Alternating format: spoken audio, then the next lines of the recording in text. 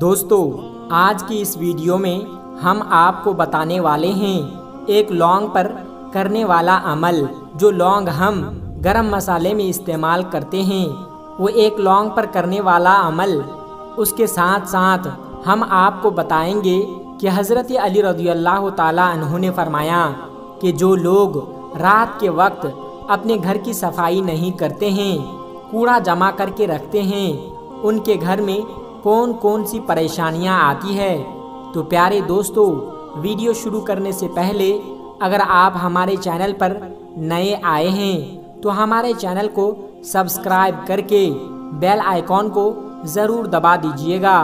तो आइए वीडियो की शुरुआत करते हैं। दोस्तों, सबसे पहले हम आपको बताते हैं कि हज़रत अली रदी अल्लाह ने फरमाया कि जो लोग रात होने से पहले अपने घर से कूड़ा कचरा नहीं निकालते हैं। उनके घर में कौन कौन सी परेशानियाँ आती है, उसके बाद हम आपको बताएँगे। एक लौंग पर करने वाला अमल, एक मर्तबा, एक औरत, परेशानी की हालत में हज़रत अली रदी अल्लाह तु की खिदमत में आई और कहने लगी कि, या अली, आपके पास हर परेशानी का हल है।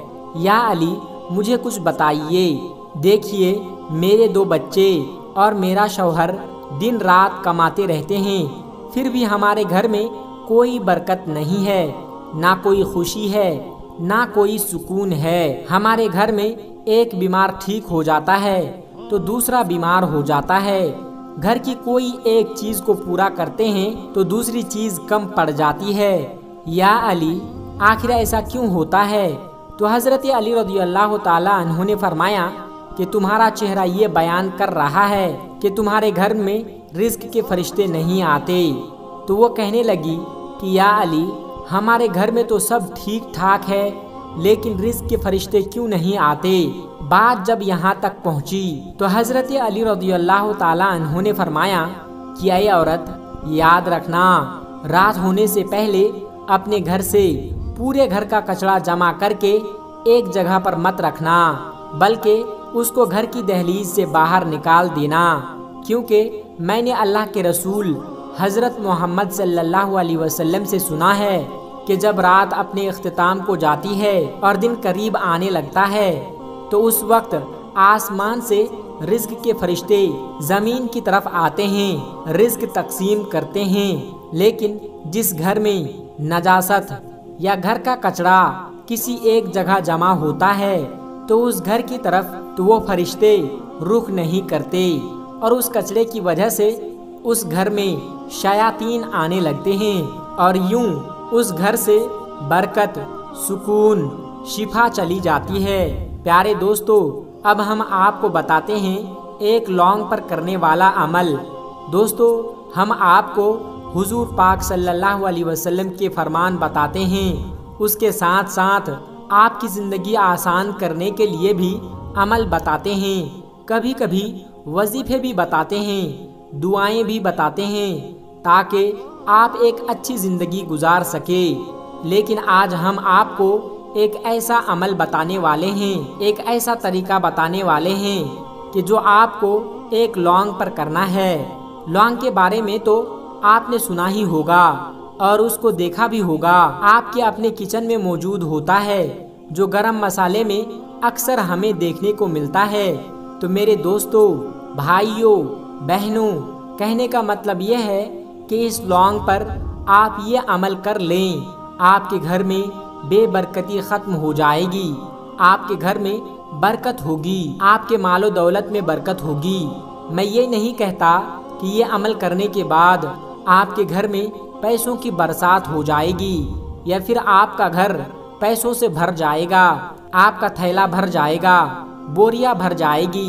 मैं कुछ भी नहीं कहता, लेकिन हाँ अगर आपके घर में परेशानियाँ हैं, जितनी आपकी आमदनी है, उतने में आपका गुजारा नहीं होता तो इन अल्लाह तबारक व के करम से आपके हालात बहुत ज़्यादा बेहतर हो जाएँगे।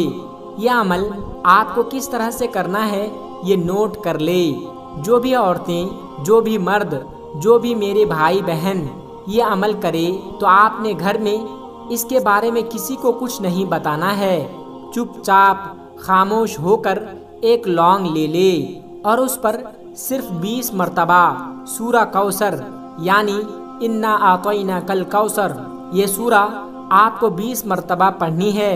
और फिर उस लौंग को किसी कपड़े में लपेट कर आप उस जगह पर रख दें, जहाँ पर आप अपने पैसे रखते हैं, अपना सोना चांदी वगैरह रखते हैं। उस जगह पर आप उस लौंग को कोई कपड़े में लपेट कर अपनी तिजोरी में रख दे और फिर देखते जाइए कि जैसे जैसे दिन गुजरते जाएँगे, आपके हालात अल्लाह तबारक व के करम से बेहतर होते जाएँगे। घर में इतनी बरकत होगी कि आप थोड़े पैसे कमाते हैं तब भी आपको गुर्बत का एहसास नहीं होगा।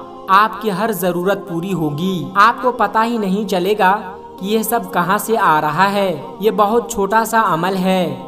लेकिन मेरे दोस्तों, भाइयों और बहनों, एक बात का ध्यान रखें कि ये सब वजीफे वगैरह उस वक्त काम करते हैं, जब हम नमाज़ पढ़ते हैं। अल्लाह तबारक व ताला की इबादत करते हैं। लिहाजा नमाज़ की पाबंदी करें, उसके साथ साथ वजीफे किया करें, अमल किया करें। अल्लाह तबारक व आपको कभी मायूस नहीं करेगा। कुछ लोग नमाज़ नहीं पढ़ते, रोज़ा नहीं रखते, अल्लाह की इबादत नहीं करते, फिर वजीफे करते हैं, फिर वही कहते हैं कि हमारा वजीफा कामयाब नहीं हो रहा है, हमारा काम नहीं हो रहा है। तो दोस्तों, पहले वो काम करे जो अल्लाह तबारक व ने हम पर फ़र्ज़ किया है इन आपका हर वजीफ़ा कामयाब होगा। दोस्तों, क्या आप भी हमेशा यह सोचते हैं कि आखिर हमारे घर में बरकत क्यों नहीं हो रही है? तो हम आपको नबी पाक सल्लल्लाहु अलैहि वसल्लम के वो सात फरमान बताने वाले हैं, जिससे अल्लाह तबारक व ताली के बरकत का नज़ूल हमारे घरों पर होगा। तो चलिए देखते हैं वो कौन कौन सी सात चीज़ें हैं। लेकिन वीडियो शुरू करने से पहले आप लोगों से एक छोटी सी गुजारिश है कि इस वीडियो को एक लाइक करके हमारे चैनल को सब्सक्राइब ज़रूर कर लीजिएगा, ताकि इस्लामी और मालूमती वीडियो रोज़ाना की बुनियाद पर आपको मिलती रहे। दोस्तों, अगर बात की जाए उन सात चीज़ों की, जिससे अल्लाह तबारक व ताली की रहमत का नज़ूल हमारे घरों पर होता है। तो नंबर एक पर है कुरान मजीद। दोस्तों, कुरान मजीद दुनिया की किताबों में से सबसे ज़्यादा पढ़ी जाने वाली किताब है। और हुजूर पाक सल्लल्लाहु अलैहि वसल्लम ने फरमाया कि क़यामत तक के आने वाले इंसान के लिए हिदायत का ज़रिया है और तमाम बीमारियों से शिफा की दुआ भी है। इसलिए हर इंसान को अपने घर में कुरान मजीद ज़रूर रखनी चाहिए। नंबर दो, जमजम का पानी। दोस्तों, जमजम के पानी में अल्लाह तबारक व ने बहुत सारी शिफा भी रखी है और बहुत सारी बीमारियों का इलाज भी रखा है। इसलिए हमें चाहिए कि जमजम का पानी अपने घर में ज़रूर रखें। नंबर तीन, कलौजी।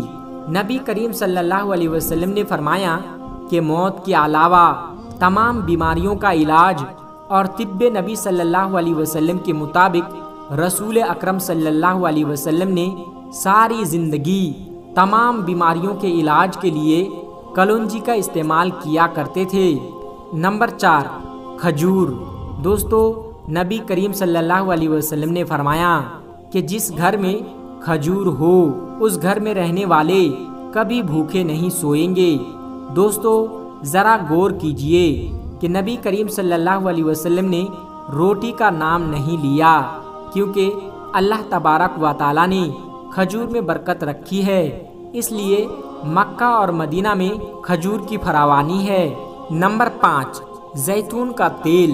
दोस्तों, जैतून के तेल की अहमियत इस बात से लगाई जा सकती है कि अल्लाह तबारक व ताली ने जैतून के तेल की फजीलत बयान करते हुए एक सूरत भी नाजिल फरमाई, वत्तीनी व जैतूनी व तूरी सीनीन।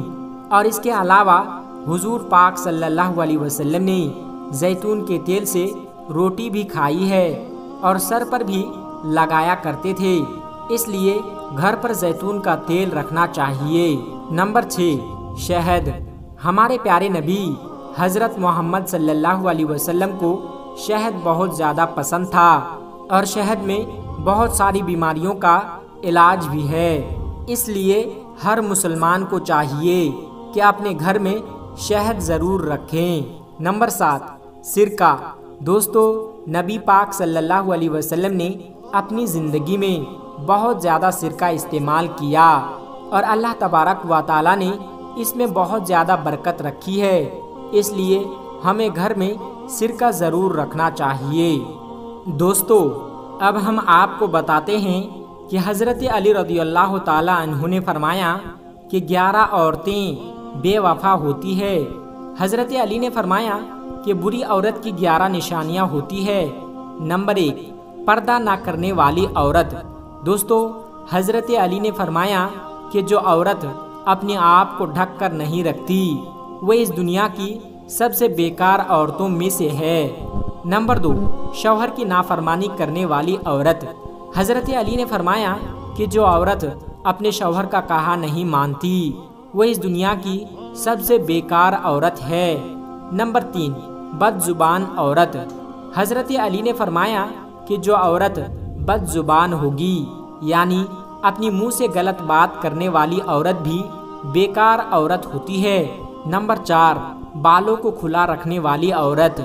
जो औरत अपने बालों को खुला छोड़ती है, यानी बालों की नुमाइश करती है, वो भी बुरी औरतों में से एक औरत है। नंबर पाँच, सबसे ज़्यादा अक्लमंद समझने वाली औरत।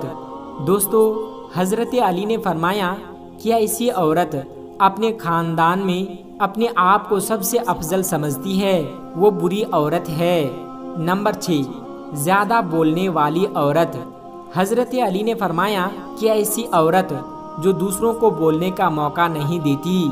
ऐसी औरत भी बुरी औरत होती है।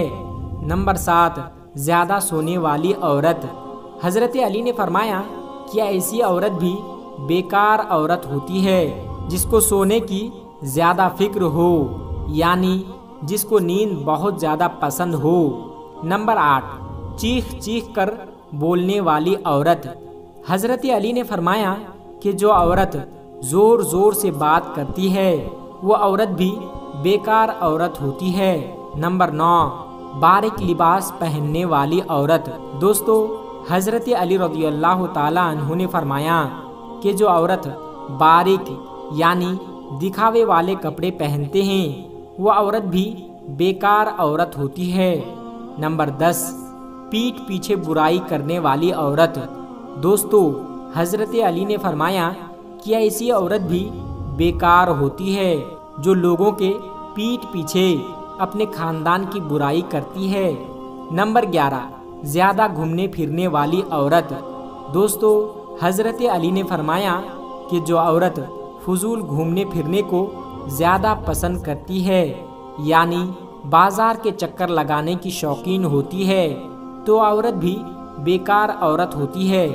अल्लाह से दुआ है कि हमारी मुसलमान माओ और बहनों को हिदायत दे। आमीन। सुम आमीन। आज हम जानेंगे सात चीज़ों से घर में गरीबी आती है। यानी सात चीज़ों से हमारे घर में बेबरकती आती है, गरीबी आती है और इन कामों के करने से हमारे घरों में खैर बरकत नहीं होती। और प्यारे दोस्तों उसके साथ साथ हम आपको यह भी बताएँगे कि सात चीज़ों से घर में बरकत आती है, खुशहाली आती है। इन सात कामों को अगर कोई करता है अपने घर में तो उस घर में खैर व बरकत होती है। तो वह कौन कौन सी सात चीज़ें हैं, आज की इस वीडियो में हम आपको बताएँगे। लेकिन वीडियो शुरू करने से पहले आपसे एक गुजारिश है कि हमारे चैनल को सब्सक्राइब ज़रूर कर लीजिएगा। तो दोस्तों, सात चीज़ों को करने से घर में गरीबी आती है। तो नंबर एक पर है, जल्दी जल्दी नमाज़ पढ़ने से गरीबी आती है। घर में खैर बरकत ख़त्म हो जाती है फ़क्र फाका और तंगदस्ती आती है। बहुत सारे लोगों की आदत होती है कि वो मस्जिद में जाते हैं और जल्दी जल्दी नमाज़ पढ़कर बाहर आ जाते हैं। प्यारे दोस्तों ऐसा करने से ज़िंदगी से बरकत ख़त्म हो जाती है और घर में खैर व बरकत नहीं होती। गरीबी आ जाती है। नंबर दो, खड़े होकर पेशाब करने से गरीबी आती है। घर में खैर बरकत नहीं होती। इसलिए दोस्तों, हमेशा खड़े होकर पेशाब करने से बचने की कोशिश करें और सुन्नत तरीके से ही अपनी ज़िंदगी गुजारने की कोशिश करें। नंबर तीन, दोस्तों पेशाब करने की जगह पर वज़ू करने से गरीबी आती है, फकीरी आती है और इस वजह से घर में खैर बरकत नहीं होती और घर का सुकून चला जाता है। चाहे आप कुरान पढ़ने के लिए वज़ू करते हैं या आप नमाज़ पढ़ने के लिए वज़ू करते हैं तो जिस जगह पर आप पेशाब करते हैं, वहाँ पर कभी भी वज़ू ना करें। और अगर कोई ऐसा करता है तो उसके घर में कभी भी खैर व बरकत नहीं होगी और कभी भी खुशहाली नहीं आएगी। नंबर चार, प्यारे दोस्तों, खड़े होकर पानी पीने से घर में गरीबी आती है। घर में खैर व बरकत नहीं होती।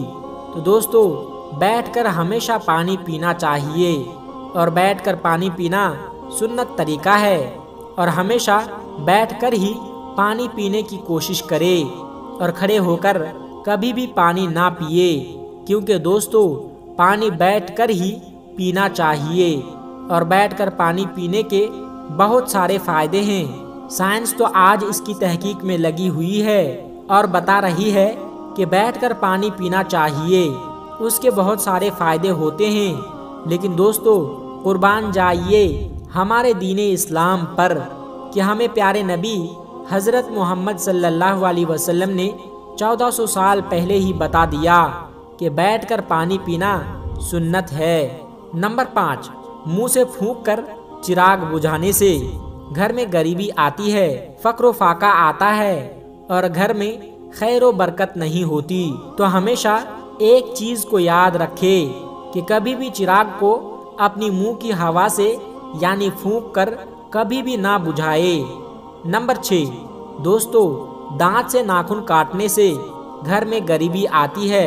उस घर में कभी खैर व बरकत नहीं होती, क्योंकि बहुत से लोगों की और ख़ास कर बच्चों की यह आदत होती है कि वो दांतों से नाखून को काटते हैं। तो ऐसा करने से हमेशा बचना चाहिए। अगर ये बहुत ही ज़्यादा हो गया और आदत बन गई तो ऐसी गलती करने वाला भी बीमार हो जाएगा और ऐसा करने से खैर बरकत भी नहीं होगी। और घर का सुकून चला जाएगा। नंबर सात, आस्तीन से मुँह साफ़ करने से घर में गरीबी आती है। घर से खैर बरकत खत्म हो जाती है। बहुत सारे लोगों की आदत होती है कि दामन या आस्तीन से मुँह साफ़ करते हैं। इसलिए दामन या आस्तीन से कभी भी मुँह साफ़ ना करे और हमेशा इससे बचने की कोशिश करता रहे। दोस्तों, अब हम बात करते हैं उन चीज़ों के बारे में, जिन सात चीज़ों को करने से घर में अमीरी आती है, खुशहाली आती है, खैर बरकत होती है। तो नंबर एक पर है, कुरान की तिलावत करने से घर में खैर बरकत होती है। अमीरी आती है, मालदारी होती है और खुशहाली आती है। और मेरे दोस्तों, आप खुद ऐसे घरों को तलाश कीजिए और ख़ुद जाकर देखिए कि घर में रोज़ाना कुरान की तिलावत होती है, उस घर में कितनी खैर बरकत होती है, वहाँ क्या सुकून होता है। अगर आप भी मालदार बनना चाहते हैं, आप भी अपने घर में खैर बरकत चाहते हैं तो आपको भी रोज़ाना कुरान पाक की तिलावत करनी चाहिए। नंबर दो, पाँच वक्त की नमाज़ पढ़ने से। दोस्तों, पाँच वक्त की नमाज़ पढ़ने से खुशहाली आती है, घर में खैर बरकत होती है, और उस इंसान की ज़िंदगी में खुशियाँ ही खुशियाँ होती है और जो नमाज़ पढ़ते हैं, पाँच वक्त की वो मालदार भी होते हैं। क्योंकि पाँच वक्त की नमाज़ पढ़ने से इंसान के घर में खैर बरकत आती है, अमीरी आती है, मालदारी आती है। अगर आप भी अमीर बनना चाहते हैं, आप भी ख्वाहिश रखते हैं कि आप भी मालदार लोगों में शामिल हो जाए तो आप सबसे पहले नमाजी लोगों में शामिल हो जाइए। और पाँच वक्त की नमाज़ पढ़े। नंबर तीन, अल्लाह तबारक व ताली का शुक्र अदा करने से। दोस्तों, अल्लाह तबारक व ताली कुरान शरीफ में फरमाता है कि अगर तुम शुक्र गुजारी करोगे तो बेशक हम तुमको ज़्यादा देंगे। तो दोस्तों, अगर आपके पास अल्लाह तबारक व ताली की दी हुई दौलत है, बहुत सारी नियामत है या बहुत थोड़ी है तो फिर भी अल्लाह तबारक व ताली का हमेशा शुक्र अदा करता रहे। भले आपके पास कुछ भी ना हो, फिर भी आप अल्लाह का शुक्र अदा करें, क्योंकि कोई ऐसा इंसान नहीं जिसके पास कुछ भी ना हो, क्योंकि उसे ईमान मिला है और सबसे खुशकिस्मत इंसान है, जिसे प्यारे नबी हज़रत मोहम्मद सल्लल्लाहु अलैहि वसल्लम की उम्मत में जगह मिली है। तो हर चीज़ को लेकर अल्लाह तबारक व ताली का शुक्र अदा करने लगोगे। तो अल्लाह ताला आपको इतना अमीर बना देगा, इतनी दौलत से नवाजेगा कि आपकी ज़िंदगी में खैर व बरकत आती जाएगी। नंबर चार, गरीबों और मजबूरों की मदद करने से। दोस्तों, अगर आप चाहते हैं कि अल्लाह तबारक व ताली आप पर करम करे, आपकी मदद करे तो आप हसब तौफीक जो भी आपके पास है उसमें से एक गरीबों और मज़दूरों की मदद ज़रूर करना। गरीब और मजबूर लोगों की मदद करने से अल्लाह तबारक व दौलत में इजाफा करता है और उसमें खैर बरकत अता करता है और गरीबों और मज़दूरों की मदद करने से इंसान अमीर हो जाता है और खुशहाली उसकी ज़िंदगी में आ जाती है। खैर बरकत उसकी ज़िंदगी में आ जाती है। चाहे आप किसी तरह उनकी मदद करें, लेकिन उनकी मदद ज़रूर करें। नंबर पाँच, गुनाहों से माफ़ी मांगने पर। दोस्तों, जो शख्स अपने गुनाहों की माफ़ी अल्लाह तबारक व ताली से माँगता है तो बेशक अल्लाह तबारक व ताली बड़ा रहीम व करीम है। उसे माफ़ कर देता है और उसके गुनाहों को माफ़ करके उसे नवाजता भी है। उसको दौलत भी देता है। उसको इज़्ज़त भी देता है तो हमेशा अपने गुनाहों की माफ़ी अल्लाह तबारक व ताली से मांगनी चाहिए। अगर गुनाह से तोबा मांगने के बाद अगर आप भी दौलत पाना चाहते हैं, खैर व बरकत पाना चाहते हैं तो आप इस गुनाह को आइंदा कभी ना करें और ऐसी नीयत रखें कि इन अल्लाह तबारक व ताली आपके घर में खैर बरकत, अमीरी, मालदारी, दौलत व शहरत सब कुछ अता करेगा। अब सिर्फ़ उठते बैठते अस्तगफार करते रहिए। नंबर छः माँ बाप और रिश्तेदारों के साथ अच्छा बर्ताव करने से खुशहाली आती है, अमीरी आती है, मालदारी आती है, क्योंकि माँ बाप की खिदमत अगर आप करोगे, उनके साथ अच्छा सलूक करोगे तो माँ बाप आपके लिए हमेशा वैसे दुआ करते हैं, चाहे आप उनके लिए अच्छा सोचे या ना सोचे। माँ बाप तो माँ बाप होते हैं। वो अपनी औलाद की हमेशा भलाई सोचते हैं और औलाद के लिए दुआ करते रहते हैं। और माँ बाप की दुआ अल्लाह तबारक व ताली कभी रद्द नहीं करते। नंबर सात, सुबह के वक्त सूरा यासीन और शाम के वक्त सूरा वाकिया पढ़ने से अमीरी आती है, खुशहाली आती है। आप सुबह के वक्त सूरा यासीन की तिलावत कीजिए, शाम के वक्त मगरिब के बाद सूरा वाकिया की तिलावत करें तो अल्लाह तबारक व ताली आपके रिस्क में बारिश की तरह बरकत अता करेगा। दोस्तों, ये कुल चौदह चीज़ें हुई। सात चीज़ों को करने से घर में गरीबी आती है और सात चीज़ों को करने से घर में अमीरी आती है, खुशहाली आती है। दोस्तों, आज की वीडियो में बस इतना ही। अगर आपको ये वीडियो अच्छी लगी हो तो हमारे चैनल को सब्सक्राइब ज़रूर कर लीजिएगा। असलकम वरहमल वर्का